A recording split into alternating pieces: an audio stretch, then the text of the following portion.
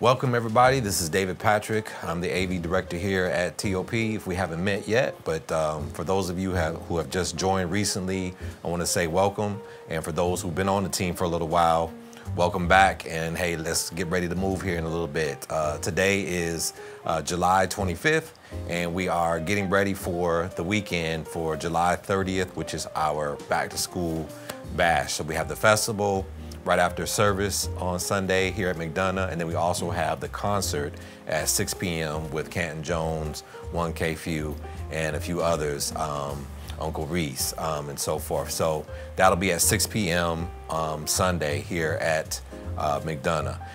For those who are new uh, to the ministry, I want to say welcome once again. Uh, we've been kind of in a downtime for the month of July as we have a time of rest here at the church, but we're getting ready to start things back up. So first Thursday in August, we will have our uh, meeting and training. So I want everybody to be, you know, at training on, at 7 p.m. on Thursday of next week, and we'll get going on our routine of training and, you know, development and things like that.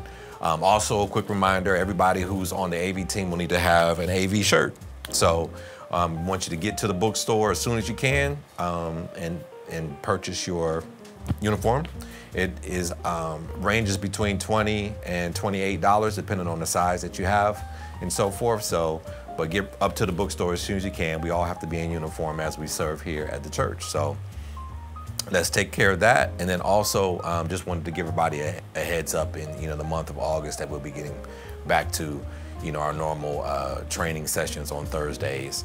Um, we'll also have training sessions um, at Jonesboro um, as well on Thursday evenings during choir rehearsals um, and your respective campuses where you serve. So, but just wanted to get everybody back in the groove of things. Hope you had a great summer.